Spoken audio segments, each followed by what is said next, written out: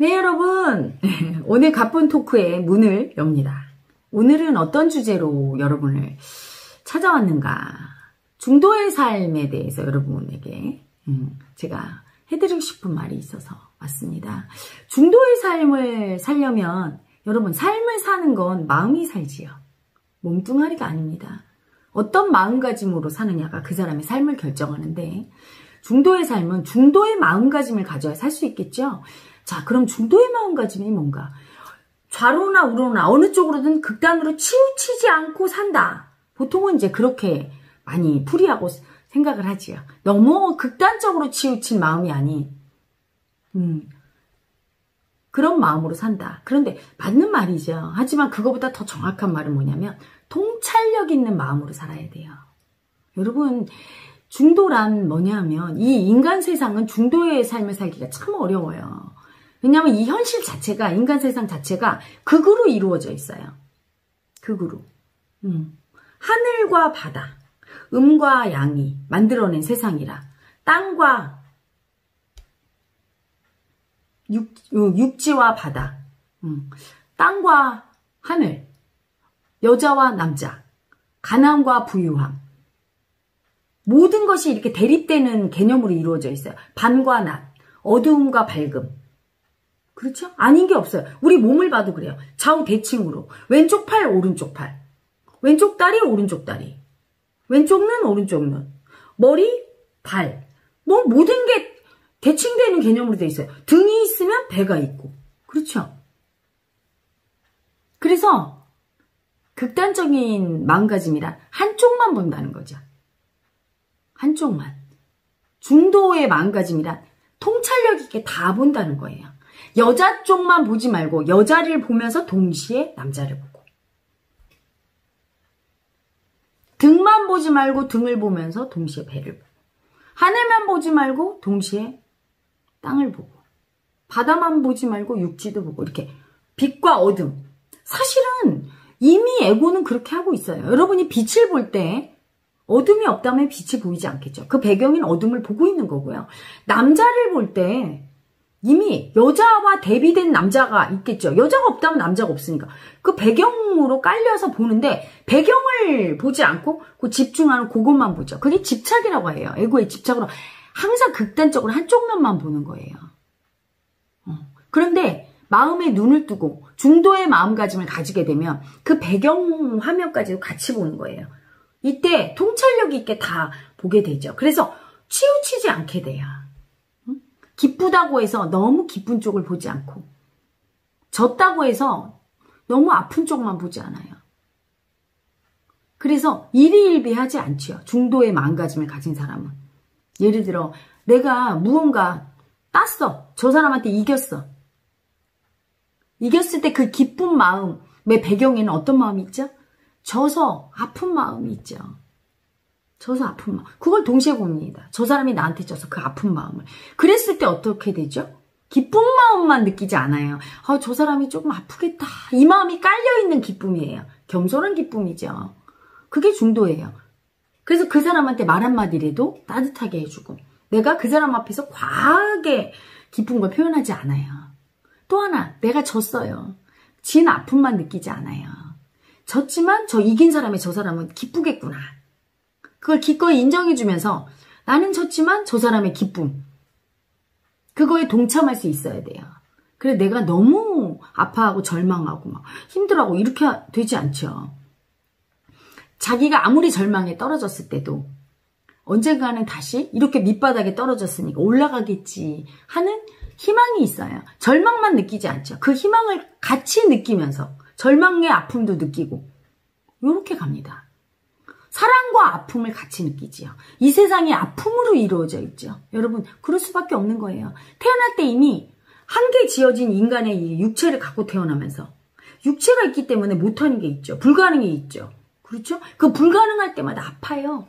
온통 다 지뢰밭이에요. 온통 다 불가능한 세상. 하다못해 내가 낳은 자식도 내 뜻대로 안 되니 얼마나 아파요. 그렇죠? 근데 그 아픔이 또 사랑이야. 왜? 아프다는 자체가 이미 사랑이에요. 내 자식이 잘 되게 하기 위해서 내 머리로 이렇게 이렇게 됐으면 좋겠어. 이렇게 생각하는데 그게 안 됐을 때 아픈 건 사랑하니까. 다칠까봐. 사랑이 없다면 아픔도 없지요. 이 세상이 사랑으로 이루어져 있다는 증거가 아픔이에요. 이것도 또한 극단으로 이루어진 거죠. 아픔과 사랑이 공존하는 극단. 많은 분들이 여기에서 실수를 합니다. 아픔에 그냥 가서 완전히 함몰되거나 아니면 완전히 사랑으로만 가거나 그래서 자기가 조금 좋은 일이 생기고 자기 뜻대로 좀 되면 막 하늘 끝까지 올라가서 그냥 기뻐하고 그 사랑만 느껴요. 아픔은 안 느끼고. 그 사랑 속에 반드시 아픔이 있는데 아픔이 없는 사랑이 없거든요. 내 뜻대로 돼서 이렇게 좋지만 반드시 그 속엔 아픔이 있는데 그 아픔을 느낀다면 그 사랑이 조금은 중도, 통찰력 있게 보는 마음으로 가겠죠. 또한 내가 아플 때는 끝간데 없이 떨어져서 사랑은 존재하지 않아. 이 세상은 절망만 있고 너무 아프기만 하다고 봐요. 하지만 그 아픔 속에서도 사랑 한 줄기 빛, 희망인 사랑을 볼 수 있는 눈이 열려야 중도의 마음가짐을 가진 사람인 거죠. 그 중도의 마음가짐을 가져야 이 삶을 살 때 멋지고 아름답게 살 수 있어요. 음, 흔들리지 않고 항상 너무 기뻐하지도 않고 너무 슬퍼하지도 않고 너무 잘난 척하지도 않고 너무 못났다고 절망하지도 않고 너무 열등하지도 않고 너무 우월하지도 않고 항상 열등감 뒤에는 우월감이 있다는 걸 알으니까. 우월감 뒤에는 열등감이 받치고 있다는 걸 아니까. 내가 느끼는 기쁨 뒤에는 슬픔이 있다는 걸 아니까. 내가 느끼는 두려움 뒤에는 용감함이 있다는 걸 아니까 내가 이렇게 강함이 있으면 내 뒤에 약함이 있다는 걸 아니까. 그래서 겸손해지는 거예요. 겸손한 척하고 저는 겸손한 사람입니다. 하는 사람이 겸손한 게 아니라 이 마음의 원리를 알고 중도의 마음가짐을 가진 사람이 진정한 겸손한 사람이에요. 왜냐하면 아무리 약자를 봐도 그 사람이 정말 약자로 보이지 않거든요. 그 약자의 마음 뒤에는 강한 마음이 있음을 알고 내가 지금 강한 마음, 강자를 쓰지만 그 뒤에는 반드시 약한 마음이 있기 때문에 이 마음을 쓰는 걸 알고 언젠가는 내가 약자가 될 수 있다는 걸 너무나 뚜렷이 알고 있거든요. 아무리 약한 사람도 언젠가는 강자가 될 수 있다는 걸 알 수 있고 그걸 그냥 머리의 교훈이 아닌 몸으로 깊이 체득해서 마음으로 알고 그 마음의 원리를 쓰고 사는 게 바로 중도의 마음가짐을 가진 사람이 사는 중도의 삶이지요. 그 삶은 아주 아주 큰 사랑과 아픔이 공존하는 삶이에요. 너무 아픈데 그 아픔을 기꺼이 받아들일 수 있는 이유가 아픔이 클수록 너무 사랑하기 때문에 아프다는 걸 알기 때문이에요. 너무 사랑하니까 아프지요. 저희 아빠가 예전에 돌아가실 때 굉장히 아파하셨어요. 제가 그 모습을 보는 게 너무 아파서 밤에 늦게 오고 안 들어가려고 하고 그리고 짜증을 부리고 많이 했거든요. 그리고 굉장한 죄책감에 시달렸어요. 돌아가시고 나서. 내가 왜 그랬을까? 너무 사랑하는데 왜 그랬을까? 너무 사랑하니까. 그 아픔을. 잘못한 게 있다면 아픔을 인정 못한 거죠. 너무 아파서. 아픔이 사랑인 줄 알았더라면 그 아픔을 인정했을 거예요. 인정하고, 인정하고 그 사랑도 같이 전했을 거예요. 아픔을 인정해야 그제서 보이거든요, 사랑이. 남자를 인정해야 여자가 보이고 어둠을 인정해야 빛이 보이고 하늘을 인정해야 땅이 보이거든요. 하나를 인정할 때 동시에 나머지 하나가 보이고 인정하지 않고 그 하나만 집착하는 건 인정이 아니에요. 배경이 된 나머지 음과 양이 공존하는데 그때 음만 인정할 수는 없는 거죠. 음과 양이 대립된 개념이기 때문에 두 개를 같이 인정해야 돼요. 음을 인정한다는 건 양을 인정해야 인정이 되는 거고 양을 인정한다는 건 음을 인정해야 되는데 하나만 인정하는 거 인정이 아니라 그건 집착한다고 하죠. 그거밖에 안 보이는 거예요. 아픔밖에 안 보였던 거예요. 제 눈에. 아빠를 사랑하는 그 마음을 안 봤던 거예요. 현실만 보니까 마음을 안 보니까 이렇게 아픈 마음은 아빠를 엄청 사랑했구나. 이걸 알 때 아픔을 기꺼이 인정하게 되고 그럴 때 사랑도 같이 인정이 되는 것이고 아빠에게 그걸 줄 수 있는 거죠. 아픔을 빼고 줄 수가 없는 거예요, 여러분. 그래서 제가 예전 동영상 강의에서 행복은 고통이라는 포장지를 싸고 온다. 불행이라는 포장지. 그렇죠? 사랑은 아픔이라는 포장지를 싸고 오지요. 포장지로 쌓여 있어요. 그걸 열어야 돼. 기꺼이 인정하고. 그래야 사랑이 나오지요. 그래서 아픔과 사랑을 동시에 볼 수 있어야 되지요. 내가 누구를 굉장히 사랑하지만 그 밑에 깔려있는 아픔을 보지 않는다면 그 사랑에만 집착해서 다 아프게 하고 말 거예요. 가끔 보면 굉장히 부잣집 딸내미가 주위 말려 다 뿌리치고 요즘도 있나 몰라요? 그런 스네보가 그 막 아무것도 없는 빈털털이 엄청 가난하고 고하고 뭐 이런 남자한테 시집 갔다가 엄청 아프게 사는 경우가 있죠. 그래서 다 모든 주변 식구들이 막 아파하는 경우. 주변을 다 안 보는 거죠. 나의 사랑만 중요해. 그 사랑 밑에는 반드시 아픔이 있는데 다른 사람의 아픔을 인정 안 해주는 거야. 말릴 때는 아픈 거거든요. 그 아픔을 좀 인정하고 그걸 인정해줬을 때 진짜 사랑이거든. 조화롭게 주변과 집착하고 인정하지 못하고 중도의 마음가짐이 아닌 아픔과 사랑을 같이 고통과 행복을 같이 인정을 하지 못하는 집착적인 한 가지만 빠져버리는 집착의 애고 같은 경우는 중도의 삶을 살지 못하는 애고는 반드시 내가 아프거나 상대를 아프게 하는 삶을 살게 되지요. 그리고 마음이 하늘과 땅을 사이를 그냥 끝간데 없이 오고 가요. 추락했다가 올라갔다를 반복해서 얼마나 괴롭습니까? 조금 잘 되면 막 온 세상을 가진 것처럼 펄펄 뛰었다가 조금 안 되면 꽝 내려가서 막 세상의 모든 그냥 열등이는 다 나라고 하면서 막 울부짖고 그 과정에서 마음이 얼마나 괴로워요. 중도의 마음가짐을 모를 때 지금 아픔을 인정하지 않을 때 아픔을 인정해서 사랑이 보여야 되고 사랑이 느낄 때도 그 밑에 아픔을 인정해야 그 사랑이 진짜 열매를 맺죠. 그래서 내가 사랑을 느낄 때도 아픔을 느끼지 않고 느끼는 사랑은 진짜 사랑이 아닌 거예요. 신기로운 거야. 허상이에요. 이렇게 딱 잡았다가 어느 순간 사라져버리고 아픔만 남게 되는 것이고 내가 아픔을 느낄 때 사랑을 안 느끼면 사랑을 인정하지 않고 아픔만 느낀다면 진정한 아픔이 아니지요. 진하게 아픔을 느껴서 내 것으로 받아들인 사람이 아니에요. 그냥 아파서 상처만 받고 있는 거예요. 아픔을 인정한다는 건 아픔이 상처로 남지 않는다는 얘기예요. 아픔을 느끼면서 이게 곧 사랑임을 알았기 때문에 아픔이 승화가 됩니다. 완전히 내 것으로 아픈 마음을 내 것으로 인정해요. 그래서 상처로 남지 않아요. 더 그릇이 커지고 깊어지고 사랑이 더 커지는 쪽으로 가지요. 하지만 아픔 속에 있는 사랑을 인정을 안 할 경우는 그냥 아픔은 상처로만 남아요.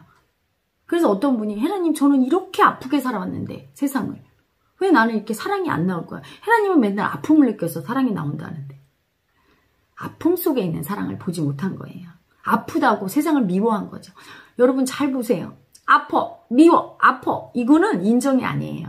미워하는 거죠. 이렇게 아파하는 이 마음을 막 버리면서 미움을 쓰는 거고 나 아파요. 받아들인 아픔과 나 아프거든요. 믿거든요. 이 마음과는 다른 거예요. 에너지가. 세상의 아픔을 순응하고 받아들이고 이 아픔을 교훈으로 내가 이런 일을 왜 겪게 됐는지 이렇게 아픈 일을 무엇이 문제가 있구나 하고 받아들이다 보면 사랑이 보이는데 그게 아니라 막 원망하고 미움을 쓰면서 그때는 아픔을 인정한 게 아니죠. 아픔과 싸우는 거예요. 또는 아픔에 함몰되는 경우도 있어요. 자기 탓을 하는 경우. 그래 너는 이래서 싸. 이럴 때는 아픔에 빠져서 절망 상태에서 응? 그래 내 팔자가 이렇지 막 이렇게 자기 비하는 둘 다 아니죠. 싸운 거나 아픔과 또는 아픔 속에 완전히 하나 돼서 아픔 자체가 돼버리는 건 전부 상처투성이의 삶이에요.